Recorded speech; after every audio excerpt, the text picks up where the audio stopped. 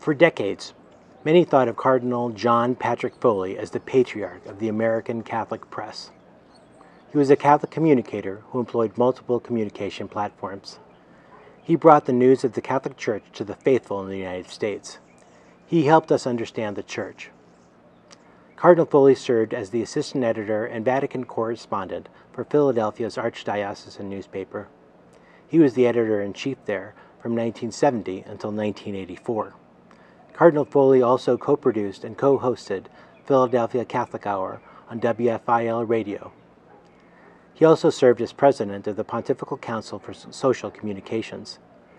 And those of us who had a chance to know him can attest to his sense of humor. His life continues to set a standard for Catholic journalists to follow.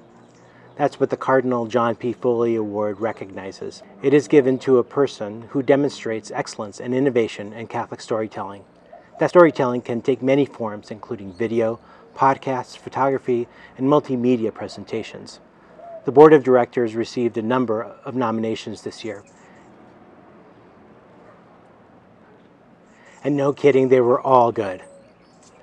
The winner of the 2020 Cardinal John P. Foley Award is Chaz Muth of Catholic News Service. His nomination reads as follows In 2019, there are numerous examples of his work in photography, videography, animation, and multimedia storytelling.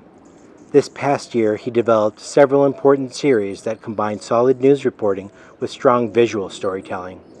One was a series on the seal of the confessional.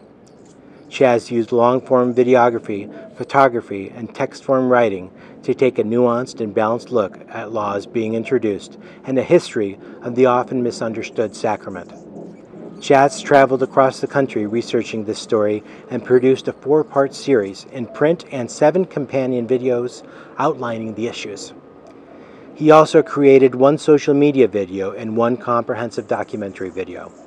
He spoke with both critics and defenders and helped to explain why it is an important issue for Catholics. Last year, he also did a three part print series with companion videos on the history of the Catholic Film Office. Using historical footage and a wealth of on camera interviews, he explained the issues that gave rise to the Legion of Decency and the Hays Code, the evolution of the office over the years, and where it stands today. His series brings to light a fascinating piece of U.S. Catholic cultural history. Taking his talents in a new direction, Chaz also created an animated short, which was the clever use of an easily approachable visual format to teach Catholics a bit of their own history, reminding them that how bishops are appointed now was not always the way it was done. Chaz embodies the great values of multimedia reporting, important stories told in video and print, providing timely information that both informs Catholics and serves the Church. Congratulations, my friend. You set a high bar for all of us. I cannot tell you what an honor this is to receive the Cardinal Foley Award. Anything with Cardinal Foley's name on it is more than an honor, and it's incredibly humbling. He was a giant in the Catholic press. And wow, what, a, what an incredible innovator in everything that he touched. I really want to thank the Catholic Press Association for bestowing this honor on me, and especially considering all of the other incredible candidates that were up here for it this year.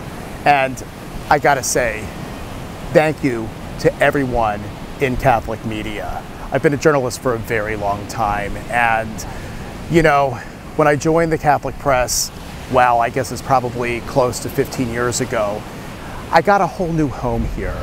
And that is, I tell people this all the time, and that is, you know, there are lots of stories that you do cover, and there are a lot of things that aren't always so happy to cover, but for the most part in the Catholic press, I get to cover the best that humanity has to offer. And I'm really grateful to that. I'm very humbled by this award. Thank you again.